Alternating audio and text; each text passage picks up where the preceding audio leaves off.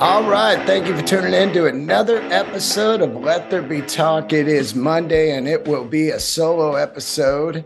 And I want to tell you this right now. Thank you so much for taking the uh, ride on all the solo episodes lately. I've been enjoying doing them and getting a lot of positive feedback, which is very cool. Sitting down, just shooting the shit about life. And uh, I'm glad you dig it. I'm glad you're here. It is, what's the date today? The 10th. April 10th? Yeah, April. No idea what month it is. No idea what's going on. Just all kinds of frazzle. This episode's brought to you by my incredible sponsor, the clothing gurus themselves, uh, the great, great Standard and Strange Standard and Strange is a one stop, incredible shop for denim, leather, boots, and good vibes. That's the uh, that's the honest truth right there. You can go to uh, Oakland, you can go to New York, or you can go to New Mexico, or you can go to their website, standardandstrange.com, and visit them on Instagram, loaded with the good stuff. They got Real McCoy, Momotaro denim, just fantastic clothing. A lot of people uh, always ask me, Where'd you get that? Where'd you get this? Where'd you get that? It's always from Standard and Strange, guaranteed. That's pretty much where I get all my stuff. Standardandstrange.com. Also, uh, Migos dog. Migos dog. I've been feeding Gertie the cleanest dog food I could find. I want her to be around forever. Migos dog com constantly running specials. So sign up for your uh, email and have them send you all kinds of uh, information on how to get migosdog.com. You can, it's LA. They deliver it, ear itches. Look at that. Ah, my ear itches. they deliver to your house now. If you live in Los Angeles, or you can go to Erewhon or Healthy Spot, pick up Migos Dog, human grade, made in Malibu, California. They got salmon, duck, beef. Beef just came out. Gertie loves the beef. And they have a puppy mix. You're going to love it. Migos Dog. You want your dog to be around forever. So don't skip out on good stuff for your dog. Skip out on you. You eat at 7 Eleven and let your dog eat the caviar. MigosDog.com. Anyway, here we are. It's Monday. I'm pretty fucking fried. Um, speaking of Standard and Strange, I missed the uh, Epic Inspiration event this year. It was Friday, and I was in Vegas. We'll get to that in a minute. I was in Vegas doing 14 shows, but every year for years, I'd go to this event that Rin Tanaka put on. He is a uh, king of all things vintage and uh, high quality Japanese goods. Rin Tanaka has a bunch of killer books out on clothing and leather jackets and Americana stuff like choppers. And he's just a, a full, passionate dude into only the greatest stuff and the history of it. So for years, he put on this show in LA called Inspiration. And it started out uh, in Santa Monica at this airport hangar, uh, airplane hangar. And it was just one of the most incredible events I'd ever gone to. And then it moved to downtown to this place called The Reef. And it was pretty good there. It was a weird layout. It was kind of like, you know, Rubik's Cube or something. You kind of had to spin around in there to find out, you know, where stuff was. It, it was a weird layout, but always incredible group of people there. Everybody from like Good Art and the Real McCoys to uh, Wesco Boots and uh, Lewis Leathers, just all this stuff. And, and basically, what was cool about it was you were just around other clothing nerds. Kevin and I would go, Kevin Christie, and we just lose our minds and hang out and and have some good laughs. I've had some great memories from inspiration. It was really something I looked forward to every year. And they did it at the Reef for a few years, and then they moved it to um, the convention center, kind of next to the Staples Center. And that thing just sucked. And that's just the honest truth. It went from something that was just mighty and incredible to just just really bad. And I don't know what happened. It had to be a combination of people just not having the money to set up a booth and come out to LA anymore. With a combo of the the venue just wasn't cool. And I don't know, there wasn't really a lot of uh, advertising. There wasn't even a lot of advertising on this. I'm in the clothing world and I didn't even know about it till Standard and Strange told me, Jeremy and Neil, they were like, we're going to be in LA Friday. Are you around? Let's meet up for inspirations. I was like, oh my God, I, I didn't hear nothing about it. So it it is an interesting thing. I don't know if Rin Tanaka wants to keep it kind of mellow or he just doesn't have time to advertise. I don't know. But before there used to be kind of old school posters on telephone poles. And you'd be like, inspirations, what's that? And uh, Kiya from Self Edge was uh, really, uh, I think, a guy that really promoted it a lot and told people about it and got people in there. But this year it was moved to Pasadena, and they always uh, coincided with the weekend of the Rose Bowl flea market, which happens, I think, once a month. Which, if you haven't been to that, it's one of the greatest things. A, a, a one time. I mean, I used to do it all the time, but if you've never gone to the Rose Bowl flea market, do yourself a favor, man. Get yourself some fucking sunblock, a good hat, and some New Balance sneakers, something comfortable, and head out to the Rose Bowl flea market buy the early pass and go in there and just lose your mind. It's in the parking lot of the Rose Bowl. When I first heard about it, I always thought it was inside the Rose Bowl. I was thinking, like, oh, that's crazy. 50 yard line just selling denim, but it's not. It's uh, all the way around the Rose Bowl in the uh, parking area and the the concessions area of the Rose Bowl. So if you've never been to the Rose Bowl flea market, which I think it's time for me to go again, I'll have to fire it up with uh, Kevin and head over there because it's been a long time since I, I went.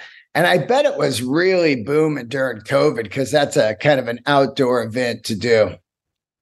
Anyway, Inspirations obviously skipped a couple years because of COVID. And here it was back at Pasadena and I didn't get to see it. So what a fucking bummer. I don't know if it was any good. I don't want this show to go away. And I hope that uh, I hope that it kicked ass. I don't know. I'll get a report on it from those guys and let you know. But uh, I missed it. I miss a lot of stuff because of comedy, and I'm all right with it. I'm all right with it because I love to do comedy. I've said it a million times. So work comes first. People are like, you're going to go see such and such. You're going to do this. I don't know. Let me see if I've got any uh, stand up dates first. And if I do, I won't be going. Perfect example. Every time I go to Las Vegas, I don't get to do anything because I do 14 shows at the cellar, which is totally fine because that's why I'm there. And I'm always there trying to work on some new material.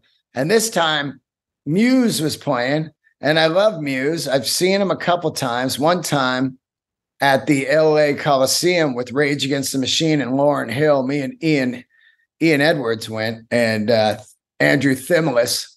We went out there and watched uh, one of the greatest concerts I've ever seen in Los Angeles at the Coliseum, where the Raiders used to play, and where Evel Knievel did that iconic jump. If you've never seen that Evel Knievel jump, do yourself a favor and YouTube Evel Knievel LA Coliseum.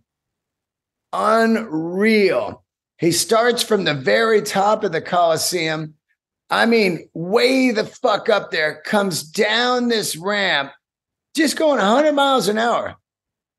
Scary as fuck. Just to be up there on your motorcycle and come down is scary. And then to jump, crazy. Anyway, I saw Muse there, Rage. It was technically still Rage's last show ever in Los Angeles. And up until that last tour, the short run they did, it was their last show ever. And I didn't think I'd ever see Rage. I still haven't seen him because of uh, Zach's uh, leg injury. But I didn't get to see Muse. And uh, I heard it was fantastic. I heard they're killing it on this tour. This is a fucking monster band that doesn't seem to get a lot of chatter in the world, but easily sells out all arenas. They sold out the uh, crypto, crypto arena, whatever it's fucking crypto.com arena or whatever. That's the old staples. People just call it the staples. They never call it crypto. I asked the guy, I go, where'd you play? And he goes, uh, Staples. it's like Candlestick in, in San Francisco. Candlestick Park was Candlestick the entire history of it, no matter what they tried to call it. It was the stick. Dude, I'm going out to the stick. I missed the stick. He uh, saw the Stones there, Rolling Stones, Tattoo You Tour, 1981. George Thorogood, J. Geils, Rolling Stones, Tattoo You. One of the great Rolling Stones tour, the Tattoo You tour, just unreal.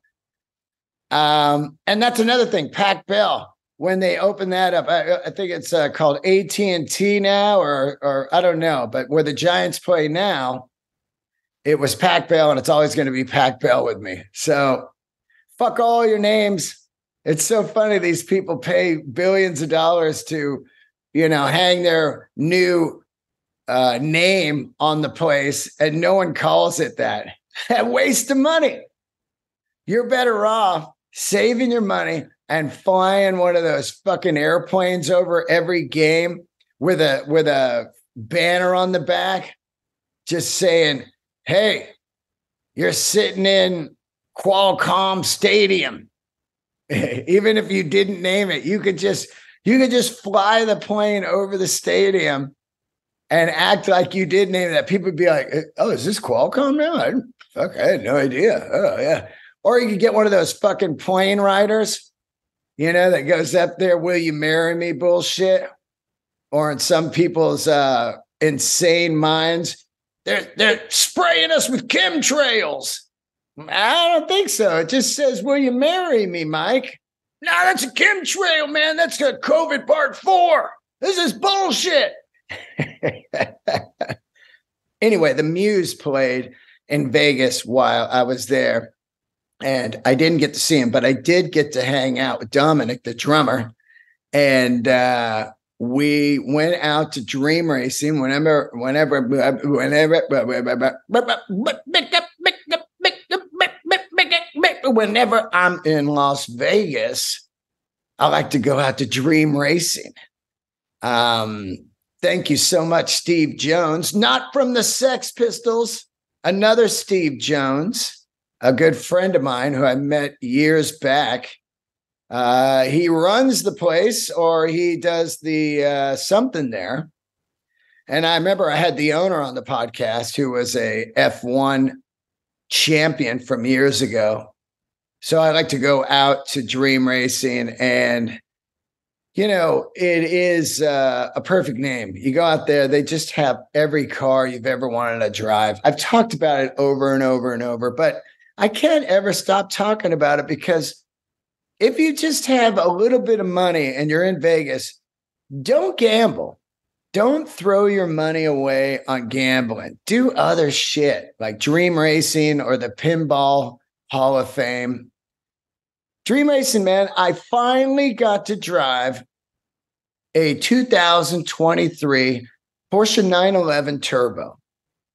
Now, I was never a turbo guy. There's a couple things I don't like about turbo cars. First, I like old school, naturally aspirated. Google that. my friends, naturally aspirated. Right now, I feel naturally aspirated. I'm drinking a little fucking green tea. Hold on here. Mm. Uh, I like naturally aspirated cars. I do like turbo cars. There was things I don't like about turbo all my life. It's a thing called turbo lag, where you press the gas and it kind of goes like, but there's no immediate fucking thrust. So I never liked turbo lag. And the other thing, and by the way, they've gotten rid of turbo lag.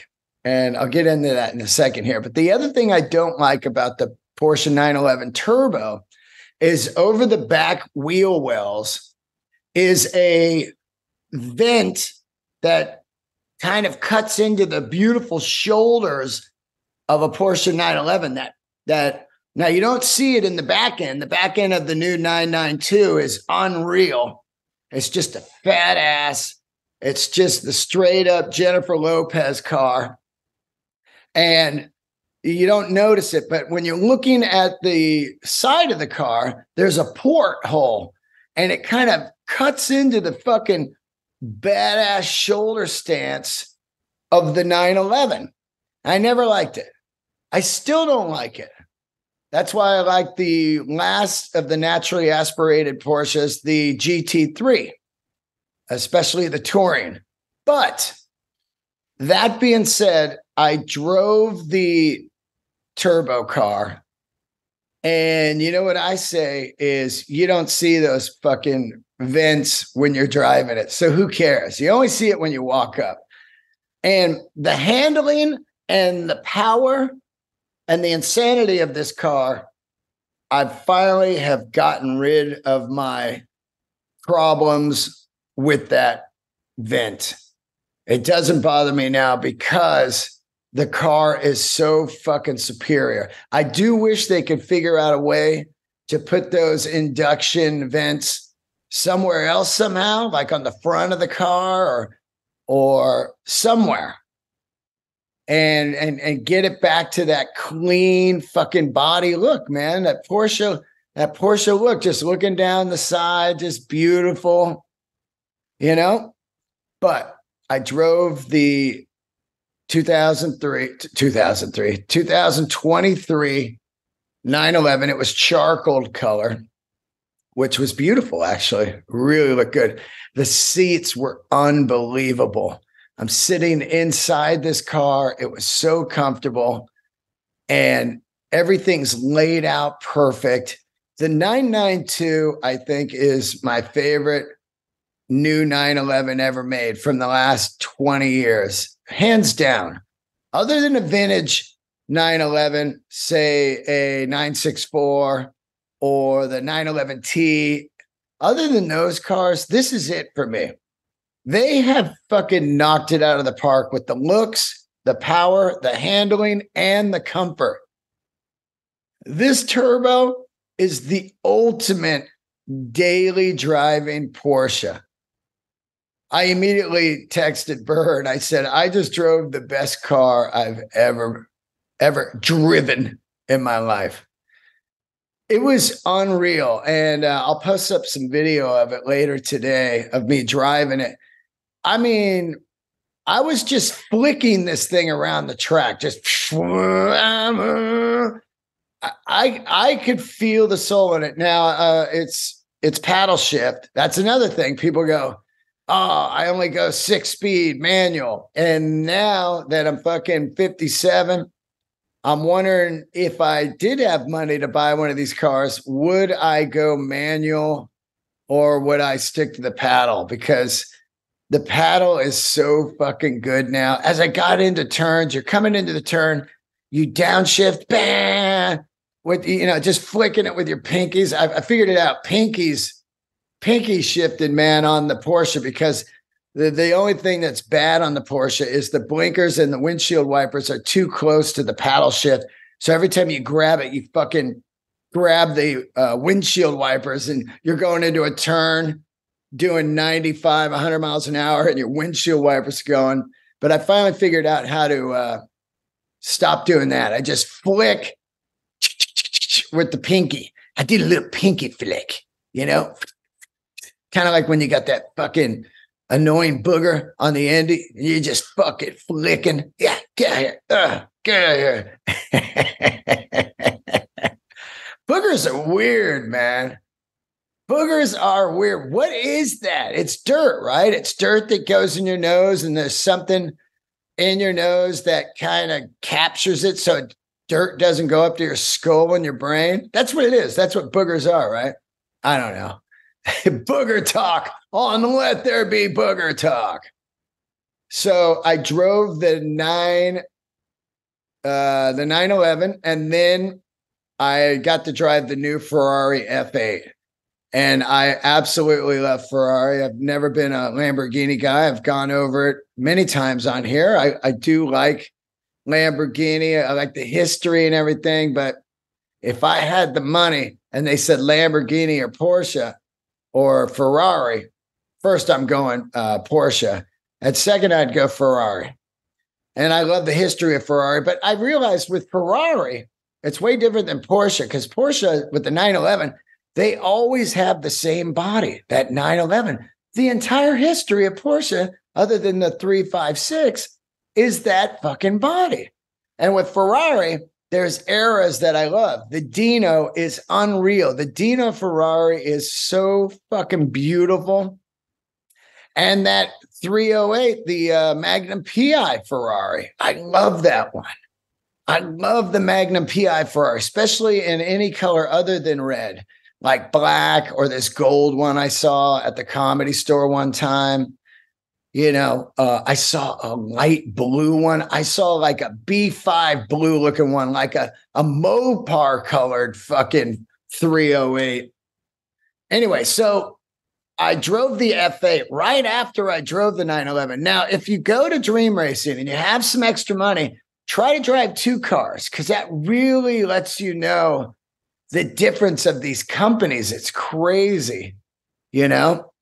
So I drove this unbelievable zillion dollar Ferrari F8 and it was great, but it just didn't feel like the 911 to me. The 911 felt like I was part of the car.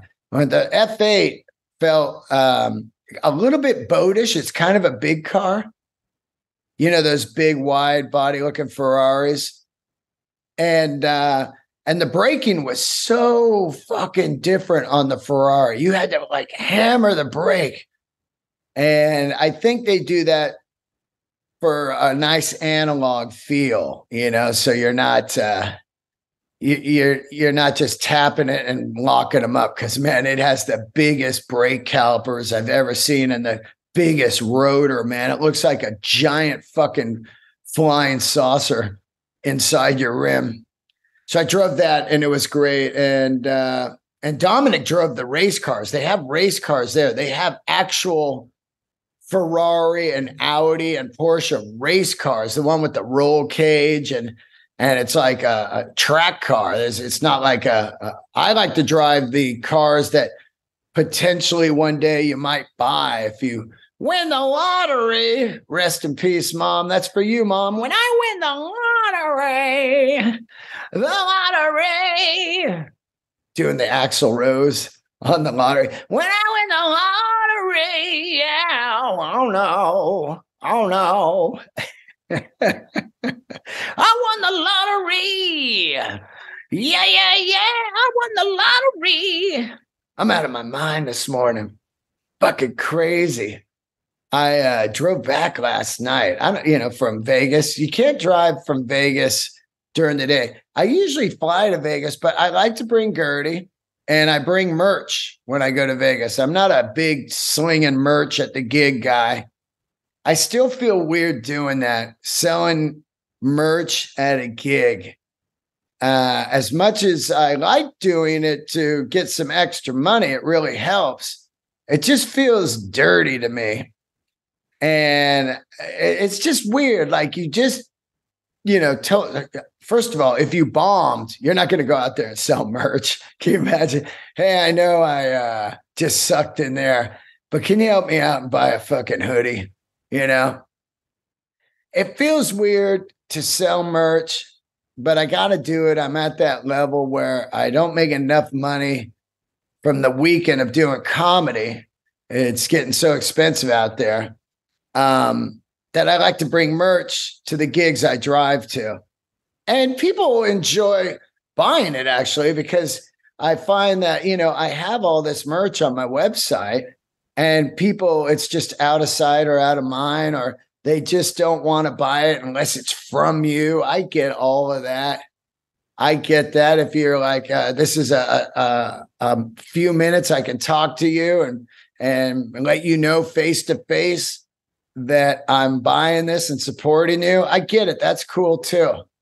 But man, does it feel fucking weird selling it. There was a time, it was right, it kind of ended right around when I started comedy, but the headliner would bring a feature out and he'd make the feature sell fucking merch. That's just dirty. I remember a couple comics asked me to do that, and I was like, nah, I'm not selling your merch, dude. You know, and I didn't open for those guys ever again which is fine with me. I'm not out there selling your merch. I'm not your fucking boy. You know, your your employee. I mean, yeah, you brought me to feature, and technically I am kind of working for you, but I'm not selling your fucking merch. And I would never ask a comedian to sell my merch. You know, some comedians want to help.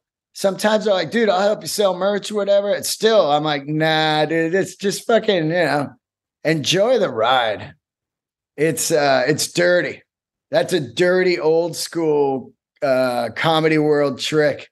Just have that. Oh, after you sell my merch, uh, go down the street and get me uh in and out burger. All right. And uh pick up some uh pick up some cigarettes for me too. Just fucking yeah, gross. Anyway, it feels weird selling the merch, but I got to do it. And I, I don't mind. I love selling merch on my website. And um, I love, uh, I wouldn't mind hiring somebody later on, like an assistant. If I got to a level, I would just say, you sell the merch and take the pictures and, uh, you know, like a tour manager type of assistant. That's a different thing. That's not a comedian on the show. That is a employee of yours hired to sell shirts maybe do some uh, video and photos and all that stuff. That's a that's a total different game. But I do love selling the merch. I love creating the merch. I love collaborating with people on merch. I love fashion. I love clothing. I try to get the best quality stuff. My shit's more money than most people because I don't go to those shitty print on demand people. I actually hire silk screeners and artists to do the work and come up with my ideas. Silk screen, um, what are they called? I use these guys, silk, and you should hit them up. I want to give them a shout out because they're just so fucking great. And they the quality of stuff, uh, silk screen printing.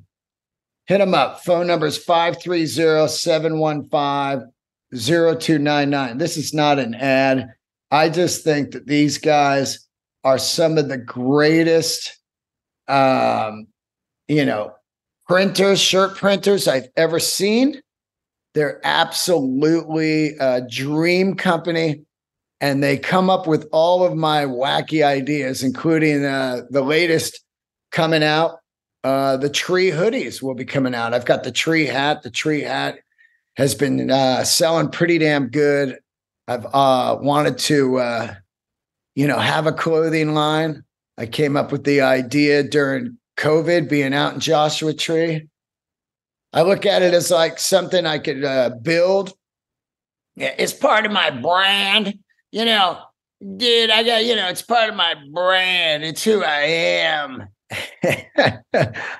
All of those terms are kind of, uh, you know, cliche and thrown around and everything, but it really is part of who I am. Uh, coming up with uh, fun, cool merchandise. Over the years, I feel like I've had some of the uh, funnest, coolest type of uh, comedy shirts, and I'll see people show up at gigs in them, and I'm just so proud. I'll look at it like the old Marshall head one that was just Dean Delray, or or the uh, the uh, Cabbage Patch one or the Grail art, and working with Draplin on the the Gertie hoodies. Gertie is uh I do a Gertie joke now. So the Gertie hoodies make sense. Before I would have the Gertie hoodies at the show, and people are like, Well, why do you got a hoodie of this dog? they didn't know about Gertie, but now Gertie's been around a few years, coming up on her, by the way, seventh birthday. Gertie's gonna be seven, May 30th. How Gertie? She's under the blanket, out cold. And um you know, so Draplin and I came up with some great ideas. Draplin is just Aaron Draplin is one of the fucking greatest and wackiest guys I've ever uh, ever uh, come in contact with and become friends with. If you didn't hear the Aaron Draplin episode, go back and listen to it. He is just a, a fucking. This guy is so good at what he does, graphic design. He is beyond. I, I feel like I've put together this amazing dream team and I'm just waiting to blow up. And when I do blow up, it's going to be like, okay, I've got the the printers, I've got Draplin, I've got uh, Perry Shaw, I have Marcus Price, the incredible photographer and videographer and uh, director. I've got Troy Conrad's one of the best photographers on the planet. Liz Vig, I've got all these people to help with the vision. I just got to keep pushing and keep pushing. It gets tough sometimes. I've said it over and over, man. It gets really fucking tough. Lately, I've just been, uh, I'm just in a spin out, man. And I'm just being honest with you. Lost my mom. You guys know that. And it's still, it's still fucking with me. And my career, I'm constantly trying to get another level up. That's always fucking with me. And it's not all good. And I just admit it and just be honest about it. It's definitely not all good. There's uh, people that have passed me up that started uh, after me. And uh, you know, you can't you can't blame uh, things.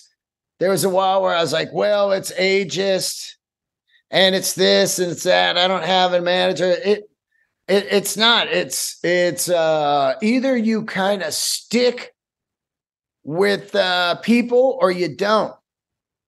And uh or you do, but it takes a long time. And Bill Burr has been such an inspiration to me because he, he was in the game for years. No one knew who this guy was except for, you know, he had a good friend pack you know, being on the Chappelle show and uh, had good friends around, Keith Robinson and Patrice and and uh, you know he had a he had a good squad. You got to have a good squad around you. I, am definitely not one of those people that are are part of uh, this clique or that clique. I started later in life, so I'm not with the young guys and and the guys that I do hang out with are giant famous now so they're busy with families and careers. So I'm out there and I'm just trying to just trying to navigate my way through the uh, depression and the time bombs and the ups and the downs. There's a lot of ups. I am not here complaining, but it uh, it it's definitely really really tough right now, and I'm I'm I'm handling it, but uh, you know you you're dealing with a lot of emotions when you lose your last family member your mom your fucking mom and uh yeah it's just uh, it's uh it's crazy. And uh, I try not to talk about it too much on the podcast because uh, oh here he goes with his mom. But hey man that's fucking that's what it is man. That's what's going on with me. And and once a week I kind of like to throw it out there and let people know. It, it, it, you know, a lot of people look shiny on their Instagrams, but uh, you know, it's it's it's all a facade. A lot of times, it's tough. Social media, it's fucking tough. It'll eat you up. You know, people are fucking crazy out there. I put that video up last week where I was talking about how the people stole the music. And you know, I only got like four or five negative comments on it. And it's so funny that people think they know what the fuck they're talking about when they're not even in the business. They're over there just mowing lawns going, this guy doesn't know what he's talking about. And I didn't uh, accuse anybody. And I think that if you took that wrong, if you took that wrong about stealing music, you definitely stole music. And you're one of those people that are like, uh, nah, I, I, I didn't do anything wrong. If you didn't steal music, you'd be like, yeah, man, he must have something to uh, say here. And look, that's not the only problem with the industry. I get it. That's one of the main things that started. People, you know, bring up dumb stuff like one particular thing, like, well, the Eagles started charging a hundred dollars before and they sold a lot of records you can't you can't talk about old record sales and i'm not going to bring this up every episode you know because i don't want to be that guy but i just wanted to throw this out real quick people could sell millions and millions of records from the past life still costs money and their accounts start to drain even no matter how rich you are you got divorces shit happens people sue you managers rip you off record companies rip you off fans rip you off, uh, you know, uh, uh, venues rip you off, uh, ticket agencies rip you off. Uh, it's fucking crazy. So you've got to constantly make money. And um, so you can't say, well, those guys sold a zillion records and they're still charging a lot for their tickets. I just saw The Who. The Who said that they will never tour the US and that's what they said in 1982, by the way. They said that was their farewell tour. They were the people, the Who invented the farewell tour. The Who on the Eminence Front uh, tour, I saw it, The Who, um, The Clash, and T Bone Burnett, Oakland Coliseum. Great fucking show. Kenny Jones on drums, of course, no Keith Moon, but The Clash out there destroying on the Rock the Casbah tour and uh, kind of coming to the end of the clash. But the Who said that they will not be able to tour America anymore because what a lot of people don't know is no insurance companies will insure you now. Used to go out on tour and they would insure the band in case they missed a show. You know, a guy fucking breaks a finger or uh, you know, somebody gets violently ill from food poisoning, they can't play, they'll insure the tour and cover the losses of one or two shows. But since COVID, they nobody will insure a tour anymore. So what um what uh Daltrey said was they won't tour the US anymore because just to start the tour, just to start the tour, it costs six hundred thousand to a million dollars just to start it up. That means rehearsals, hiring the crew, and uh, getting the tour buses, getting the hotels. Just to start at six hundred thousand to a million. So to recoup that, they need to play at, at least six shows on the tour, and now they've recouped and they can start making some money. But if they're only doing a 12 day tour of the US, like he's talking about, if they get out there and somebody gets COVID, like a bunch of guys on the tour, and they have to shut it down for three days, now they've completely lost money because they needed to play six shows to recoup the starting price of the tour. And then they would start making money. But if they have to shut the tour down, there it is. So it's going to be really weird. And I know a lot of bands out there, I'm sure they're getting COVID and they're just playing through it now. They're like, nah, we're, I mean, that's how you did it in the old days. You just got the flu and you just played. Sometimes you might have saw Led Zeppelin in Cincinnati in 1977. They, God, they were terrible. And little did you know that maybe Jimmy was dope sick or, uh, or John Paul Jones fucking got food poisoning or Robert Plant just, you know, th- voice was gone and you just played through it like a fuck, as Joey Diaz would say, like a like a soldier, like a doctor. So uh, that's the last I'm going to bring it up because, um, it, you know, it's interesting how people just go crazy. And I will tell you this, and I'll tell you this. Uh, this felt great. I released that video of me clowning on the music stealing, and there were key people that uh, liked and thumbs up and said, "Fuck yeah to this." and they were artists that I I hold at the highest level. Brent Hinds from Mastodon, thumbs up to.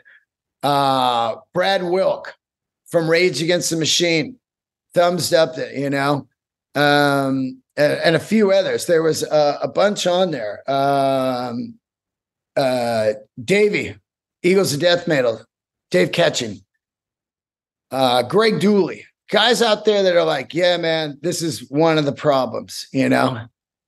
And I will tell you this: uh, I was I had a conversation with uh, Brad when we were out in the desert, and it was uh, I had heard um, I had heard Tom Morello on uh, on Sirius XM. He's on every channel now. Tom Morello.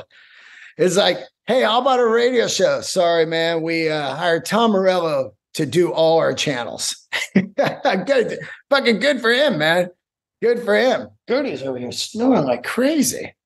But uh, he was talking about how, uh, you know, there were venues that uh, were, you know, uh, asked for vaccine cards to get in. And they were saying that Rage Against the Machine was the ones that were making us do the uh, vaccine cards. Mr. Rage Against the Machine are now the machine. I'm not, and you know what? Like I said, I'm not going to bring any of this up anymore. I always say promote what's great, not what you hate, because I can see how fast you can spiral in to this uh this fucking negative energy and next thing you know you're in that and i can see how much the internet and the algorithms love negative energy because that video I posted up got shitloads of views. And you know, they always say, man, you need to engage with these people and fight with them, and then you'll get like a million views. And I'm like, there's nothing more fucking dirty and garbage than engaging with somebody you don't give a fuck about and don't know and and hoping to get likes and views. That's disgusting. That is disgusting to me. Like, oh yeah, man, I'm a fucking, I'm gonna show these guys. Oh yeah, well, I don't give a fuck who you voted for, man. I'm just gonna keep it fucking uh, positive, and maybe I'll be one of the first dudes to make it who was who had positive energy Shout out to uh, Brody Stevens. Maybe I'll be on the top and I'll be like, this one's for Brody. This one's for you, Brody Stevens. Positive energy, push and believe. oh man, that was a fucking uh, a rifling of uh, of words coming out of my mouth. That that shit is crazy. Uh, let me let me look at my notes here because uh, lots of stuff to cover.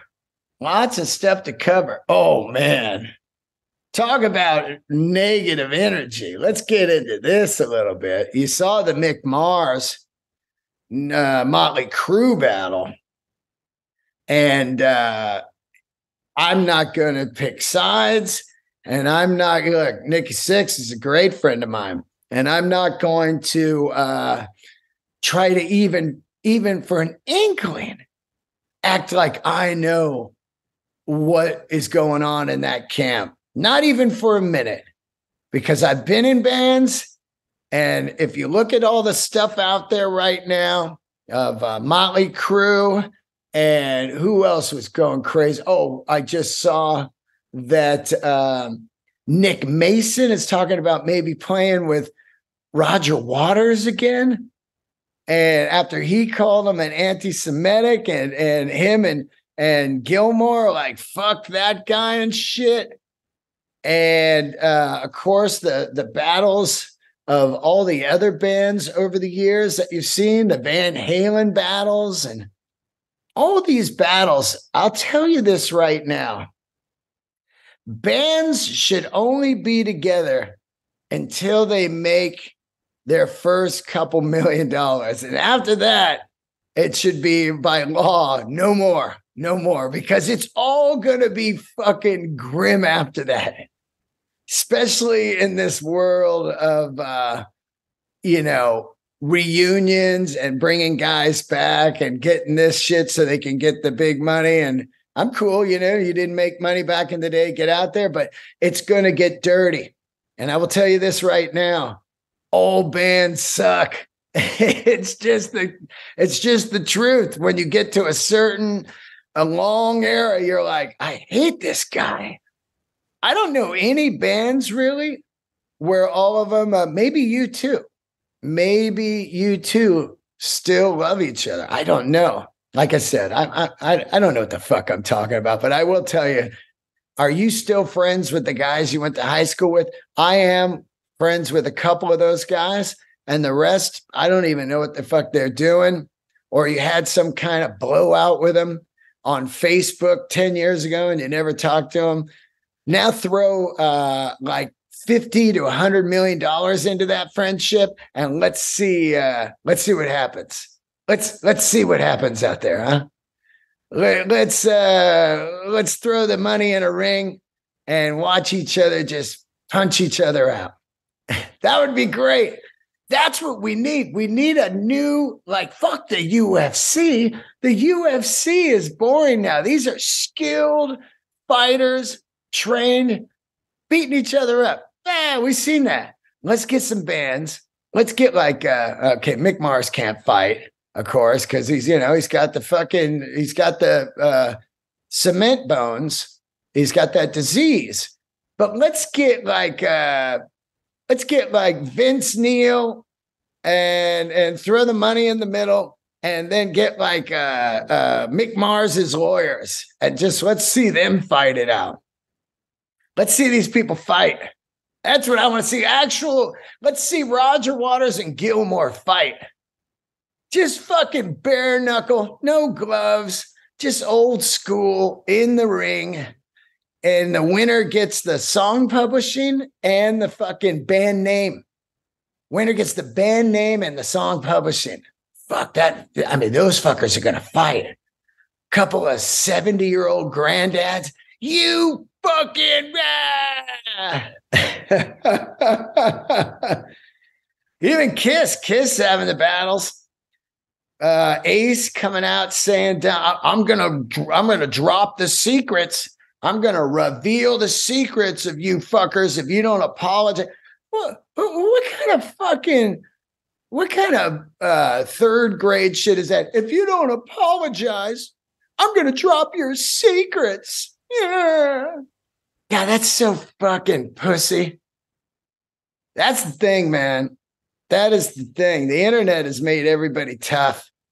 You know, everybody thinks they're a badass on the internet. And it's so funny. He's a Paul Stanley called me and told me to fuck off. I was going to drop the secrets, but my AA said, man, be a bigger man. Be a bigger man about it, dude. You know, just walk away oh man, it's so fucked too because I love all these guys. You know, some of them are my, are my friends, and you're just like, damn, damn, the Motley Crue just fucking, uh, you know. It's a, it's a rough world. I'll tell you this. I want to give a shout out to Gene Simmons. Um, and and I'll tell you this right now. People shit on Gene Simmons for years. The guy is a goddamn genius. I love him. And uh, he figured out the business and did it right. Make all the money you can so you, you can fucking relax. I went to the uh, Gene Simmons Museum at the Rio Hotel and saw the collection in person. And it is so insane to see this Kiss behemoth you know, how they say, yeah, Kiss, uh, you know, I love his thing. Uh, we got condoms and we got coffins. So we'll get you coming and we'll get you going. That's a fucking funny thing to me. You know, it's a funny, cool Gene throwaway dad joke. But this man is absolutely a genius for all the stuff that they had. And I'm telling you, at 57 years old, I looked in those cases and still wanted all the stuff that was in those cases from the 70s the old Kiss tattoos, the Viewmasters, the Kiss dolls, the Kiss pinball, the Kiss 8 millimeter concert kind of viewer, the belt buckles that kiss everything, man. It was just, I mean, you know, I, I know he got it from the Beatles, you know, the Beatlemania, and he took it and he went way, way further, and he he really um, pioneered merchandising and uh, licensing out your logo. Look, man, I think Kevin Hart is a, a funny guy, but I also think he's a genius for uh, having his hands in all kinds of business. And, and you know, at the end of the day, you kind of want to you want to be all over the place so you can have money to create stuff you want to do. Do some films, do some movies, do some documentaries. I'd still love to do that Dan the Green documentary. So, you know, you you constantly pushing and and you you got to have all the irons in the fire. So to see this Gene Simmons stuff and to really take it in. You're inside this museum in the Rio Hotel and you're walking through and you're looking at literally thousands of pieces of stuff that say kiss. And it's uh it's it's unbelievable. And the stuff, a lot of it is just cool shit, man. It is like really cool. I was uh, working with a comedian, Gabriel, and uh, he said, you know, they had the Kiss pinball there, and we went to the Pinball Hall of Fame. And he said, Do you think there's a lot of money in their name on the machine, or you think it's just the cool factor? And I said, Well, I think it's probably a little of both. They get a, probably a licensing fee, but then it's the cool factor of having your own pinball machine. I know if I had the Dean Delray pinball machine, it would just be crazy. I would just make it the grail artwork you know, the backsplash would be the grail artwork, me walking by the shop like, whoa. And then all kinds of shit comedy, rock and roll, motorcycles, cars on the playing field, Gertie in the middle. Get the Gertie extra ball. Gertie, quit snoring, Gertie. Gertie's snoring like crazy. Anyway, uh, Gene Simmons Museum. Go check it out. I wanted to go to the Punk Rock Museum in Vegas, but I didn't make it over there. It's just uh, pretty busy. But uh, I did go to the Pinball Hall of Fame again. I ran into Tim Arnold, the owner. He's the guy I had on episode 100. That was 590 episodes ago. And there he was, still in there, owner, and uh, also the fixer of the machines, uh, Tim Arnold, still one of the most craziest wild dudes I've ever had on Let There Be Talk. And it was just so great to see him. There he is, still standing. I'm still alive. And I'm playing uh, pinball. I played the new Foo Fighters game. Foo Fighters have a pinball machine.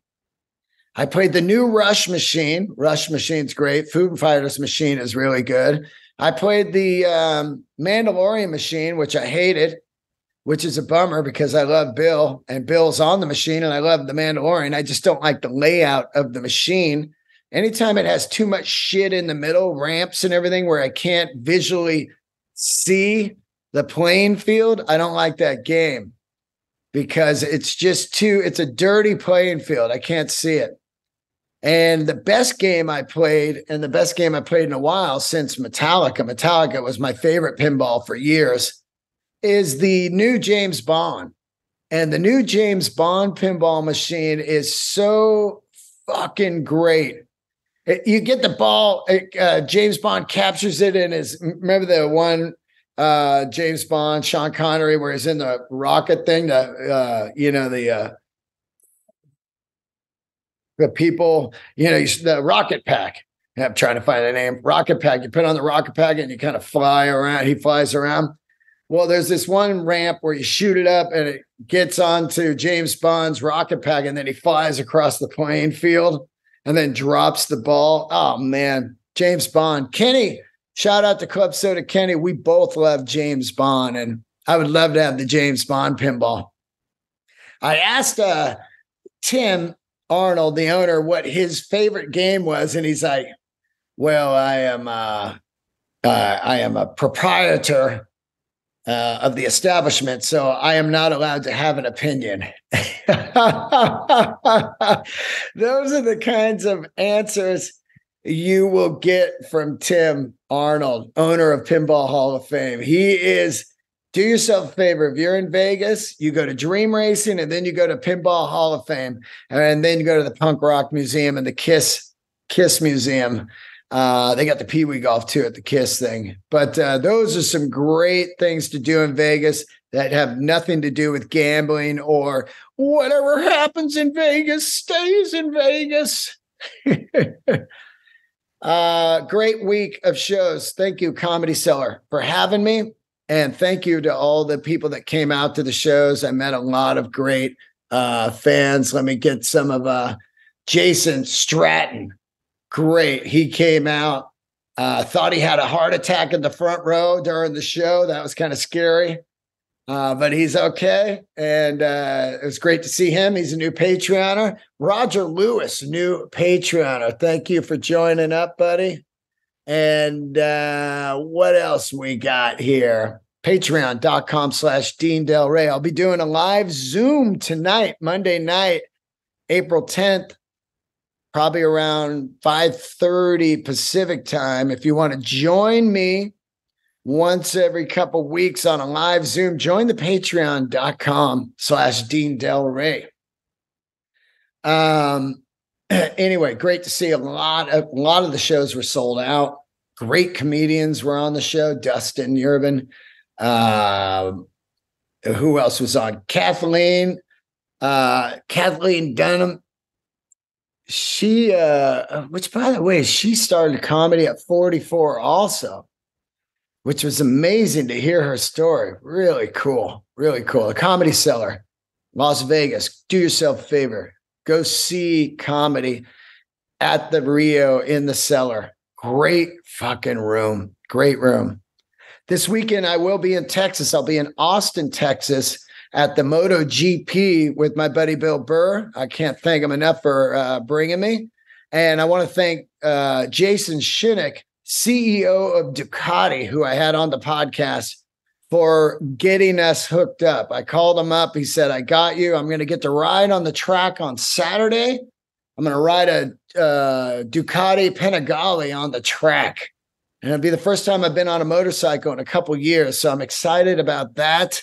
And then we're doing a show out at Texas A&M at the arena there at the college. DeanDelray.com for your merch and all your tour dates. I got a Santa Rosa date coming up. I've got two shows in Alameda coming up. And then, of course, a bunch of shows in uh, Los Angeles over the next few weeks. Comedy Store. I uh, saw Air. I saw Air the the story of the Air Jordan the Jordan 1 sneaker, the Jordan deal, the Nike fucking sensation, uh, done by uh, Matt Damon and what's the other dude? Fucking Jennifer Lopez's uh, guy. I'm fucking drawing a blank on his name right now, and he's he's uh they did the film, and uh, you know they did Good Will Hunting, and these guys are fucking killers why am I forgetting his name? I why I'm I, I'm forgetting his name right now, and why I'm doing it. You're in your car or you're at the gym, and you're going blah blah blah. It's blah blah blah.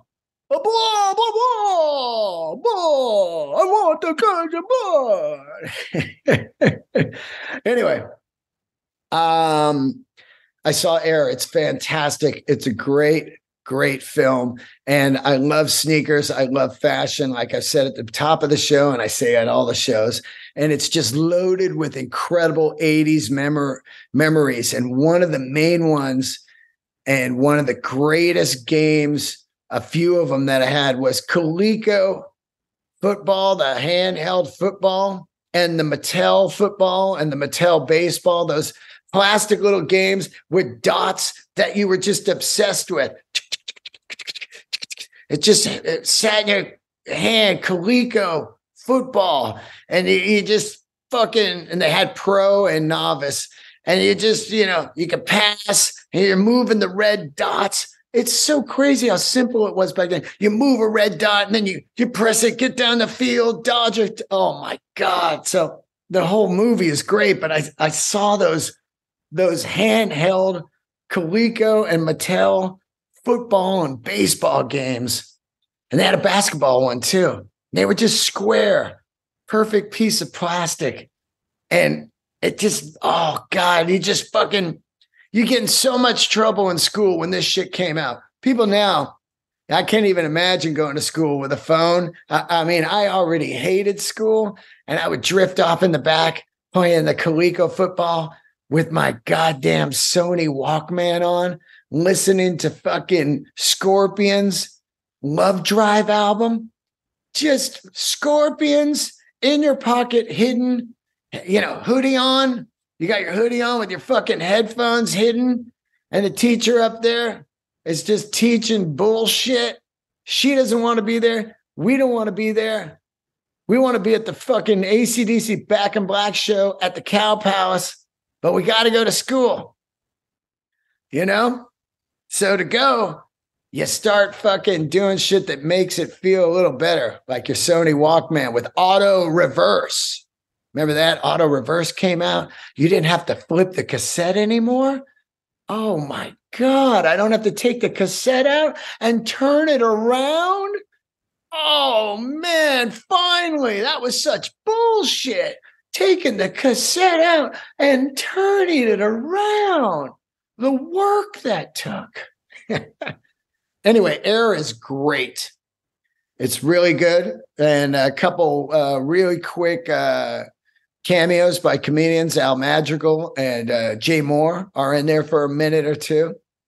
Great to see. Whenever I see comedians on movies and TV, I'm not one of those guys like, why didn't I get that? I'm like, fuck yeah, cool maybe uh maybe next time they'll pick me to be in something maybe they'll keep hiring comedians maybe they'll keep coming down to the store and putting us in some uh films make a little fucking uh, side change and get some health care yeah maybe maybe you stop hating this whole episode is uh, geared around not talking about the haters again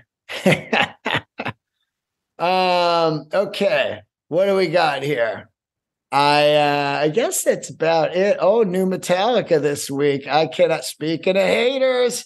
Speaking of haters, that comes out this week. And you know what that means? When a new Metallica comes out, the new fucking complainers come again.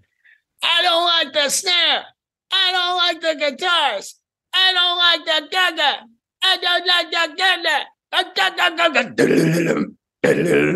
Can't wait to hear the new Metallica. They're going to be on Jimmy Kimmel all this week. And then uh, they got the movie on uh, Thursday night. You can go to the movie theater and you can see uh, all 12 videos and, and hear stories about the record and everything and hear the record first at the movie theater. And then it's out, I believe, Friday. And man, what I've heard so far is just fantastic. And I can't wait to hear the whole record. Metallica has just been killing it. On the way home, I've been listening to the Metallica channel 105 on Sirius. I listened to it all last night at two in the morning coming home from Vegas. And man, the last three Metallica records have been so fucking good. And people just, I don't think they're talking about it enough. They're just not talking about the level of metal these guys are putting out at 60 years old. That song came on, that was just your life. It came on and then spit out the bone back to back. And I was like, this shit is fire, man. And those were on the last few records. And it's just amazing how great these are. Death Magnetic and um, and, and the new record is 72 seasons. Death Magnetic. And what was the other one called? Man, my brain's not working today. And I fucking know it. Um, oh, all right. I, I refuse not to know. I, I gotta look it up. I, I think that the the least that you look up, the more your brain will work. And come on, I'm a huge Metallica fan. I just I'm old and I I'm babbling stuff to you guys off the cuff. Uh, hardwire self destruct, death magnetic, Saint Anger. I know you hate Saint Anger. I know. Uh, they played a, a Saint Anger song also on the way home. Still love it. Purify. Oh God, Saint Anger's great. Fuck all y'all. Dirty window. Saint Anger, frantic, some kind of monster. Get out of here. It's fucking great. Anyway, 72 seasons out this week. I cannot wait. It is 12 tracks. 72 Seasons was the uh, latest single they put out. And uh, oh my God, Screaming Suicide, Lux Eterna, If Darkness Had a Sun. Just great. This record's great. I don't like the cover, and I'll admit it, and I'll say it. I don't like the album cover. It's all good. It's not my cover. It's not my band. I get to hear the music. That's fine. Great, great. Anytime we get another Metallica record, at this level, they're working at this level at 60 years old. I want, I'm 60 in a few more years. I want to be like an incredible comedian at 60. I'd love to put out a death magnetic level comedy special or a 72 seasons or a uh I don't know. Uh I, I don't think I'd want to put out a uh I, I don't think I want to put out a uh, a, a level of uh, of Saint Anger comedy special because you guys, I would love it. You guys would be like, this guy knew he wasn't funny. Let's hit his Instagram. Dean, you need to learn to get funny. Someone wrote that yesterday on my Instagram. It's like, you, you know, I don't even get mad at bad comments. I'm more disappointed just in humans anytime I see stuff like that, I'm just like, uh, I, I don't care what you say to, to, me. I'm just disappointed in you. You know, you're just you're like humans, just like, ah, bummer. Bummer what we are right now. Anyway, I'm leaving it on a high note. I'm leaving it on a high note. What do we got here? Uh, let me one last thing and then we're out. Gertie's still snoring. Uh, once again, hit my YouTube channel, subscribe to it, and subscribe to the podcast on uh, YouTube or uh, iTunes. Check out cactusradionetwork.com, patreon.com slash Dean Delray. And um, yeah, I guess that is it. Oh, one last sponsor Banker Guitars. You want a custom made guitar? You like flying V's? Kirk Hammett likes flying V's. So does fucking Hetfield. Get yourself a banker Carina V or Explorer or one of his Firebirds or his new crazy SGs. He's got the gold top, arch top type of SG out. Unbelievable. Bankerguitar.com. Tell Matt I sent you. Get yourself on the waiting list and order yourself a custom to specs dream guitar that you want something that you've always wanted. Get yourself a hand built guitar out of uh, Tennessee. And uh, Gertie is snoring like crazy. And get it, get it from Banker. Matt and his wife, unbelievable. Marcus King's out there playing them. So is Scott from Rival Sons. So is uh, Mastodon plays them. All kinds of people are playing Banker guitars because basically it is like the old world of building guitars. One guy by hand, you're going to own a soul machine his life goes into those guitars and you can own one. It'll be your guitar for life. Banker Guitar. Follow him on Instagram. Tell him I sent you. I love all you. Hope to see you out at the shows. Santa Rosa, Alameda, Texas. I'm coming your way. Moto GP in the house. Thank you for joining me each week and enjoying these solo episodes. Please share my comedy videos on your Instagram and pass around my YouTube videos. It really helps. Candles are lit.